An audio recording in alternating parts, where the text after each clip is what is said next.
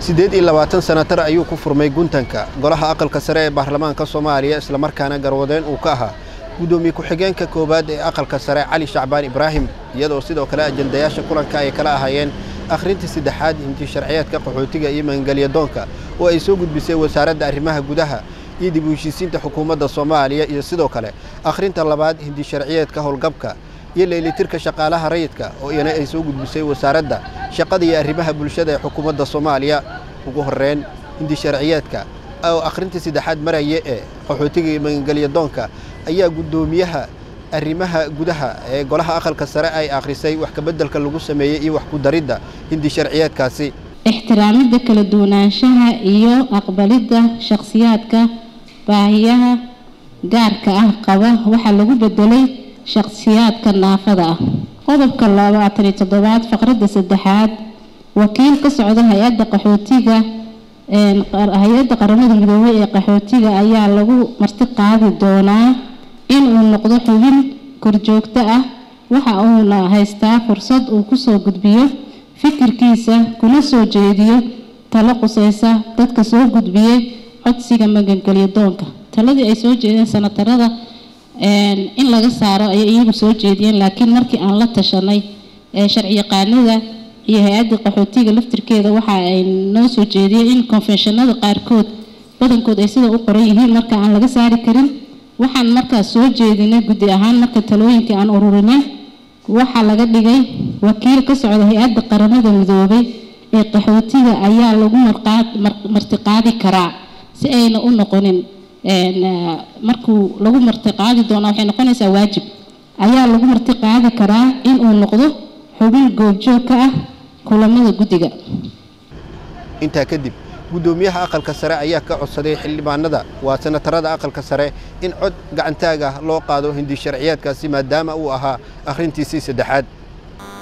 Aada iyo aad baa u mahadsantihiin. Sidai hadda sanataraddu ay ka hadlaysay shuruucda waa in la dabaqaa haddii haddii maaragtay dalka uu soo saaro madaxweynaha saxiixiisa u dambeeyey iyo procedurkii sharciga markay soo maraan. Waxaan rajaynaynaa dad afartan kun ku dhow oo dalka soomaaliya ku sugan inuu sharcigani bays u noqon doono lagu maamuli doono lagu habeyn doono lagu diiwaangelin doono ay xuquuq ku heli doonaan ayna uga duwanaan doonaan dadka kale maaragtay muwaadiniinta. ah waa maanta waa maalintii saddexaad. Aqrin saddexaad oo mintaqaan u dhammaatay sharciga waxaan rabnaa inaan gelinaa cod. In wixii su'aal ka qabo oo mabaadida guud iyo waxa su'aal qabo waa waa waa hadla karaan. Haddaysi jirinna codaan gelinaynaa. Marka wax cod wax wax su'aal qabo uma joodno. Cod ayaan gelinaynaa inta rabta in la ansixiyo inta sharciyeedka qaxootiga iyo magangelyo doonka gacanta taagaan waxaa la gudagalay akhrinta labaad hindi sharciyeedka howlgabka iyo leelitirka shaqaalaha rayidka oo ay soo gudbisay wasaaradda shaqada iyo arrimaha bulshada. Qodobka sideedaad faqraddiisa koowaad xarafka ba waxaa la tiray gabar intay ka guursanayso waxaana laga dhigay oo loo siiqeeyey wiiliga gabar intai ay ka gaarayaan da-da siddeed iyo toban sano. Qodobka saddex iyo tobanaad faqradda saddexaad xarafka ma waxaa lagu kordhiyey taasoo ah tartan u furan dhammaan muwaadiniinta soomaaliyeed.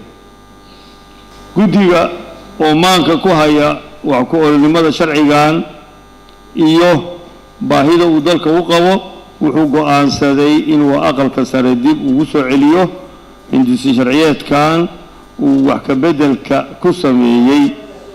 Sanatarada qaar ayaa aragti ka dhiibtay islamarkaana qodobada qaar codsaday in wax ka beddel lagu sameeyo.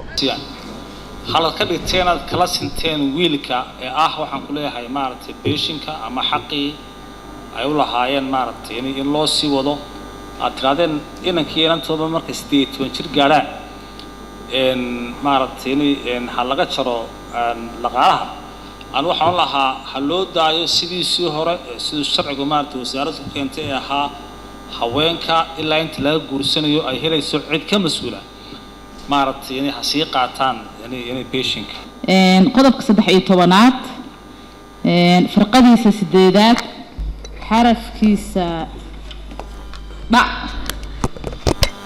waxaa ku qoran geli karo heshiisyo uu ku iibsanayo qalab iyo agab xafiisyada lagama maarmaanka u ah howlaha shaqo ee sanduuqa howlgabka. Waa agaasimaha loo loo dhiibay sanduuqaasi inuu awood u leeyahay inuu asaga procurementiga ama maaragtay iibka uu asaga samaysan karo. Sidaan ognahayna waxaa jiro hay'adda iibkii qaranka ama procurement procedure jiro oo dowladda wasaaradda maaliyadda oo kale ay maamusho oo dowladda ay maamusho. Marka waxaan qabaa qodobkaas ha laga reebo ee la yiraahdo wixii maaragtay oo oo iib ah in loo dhaafo sektorka iska leh hadduu alla idmo ee awoodihiisa in laga tiraan qabaa. Qodobka koo iyo tobnaad farqadiisa saddexaad a iyo b e c saddexdaba way runtii way qaldan yihiin ee senator zamzamna way ka hadashay. Waxaa awoodii dhan awoodii dhaneed waxaa lagu waxaa la siiyey maamulka hay'adda. Aniga waxaan qabaa inay awoodda wasaaradda wasaaradda mas'uuliyadda iskale in la siiyo. Haddii ay jirto hay'ad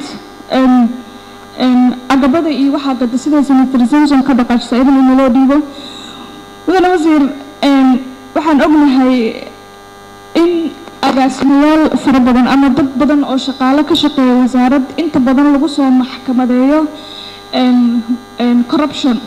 Taasna waxaa keentaa idinkaa marka hore awoodda gacanta u gelisiin kadibna markii wax halayaana ayaga waay waxaa safarinka ama maxaa dhihi jira dhibaatooyinka la kulmaan oo maxkamadaha u taagan yihiin marka sidaa darteed wasaaradda laga rabaa inay awoodda la qaadato si looga digtoonaado keesaskan fara badan oo musuq maasuq ah. Cabduqaadir maxamed c b a muqdisho. Kani waa premier walad lacag ugu dir saaxiibkaaga. Ugu adeego meel kasta. Ku bixi biilasha. U dir hana lagaaga soo diro meel walba. Ka maamulo akoonkaaga iyo kaarkaaga premier bank.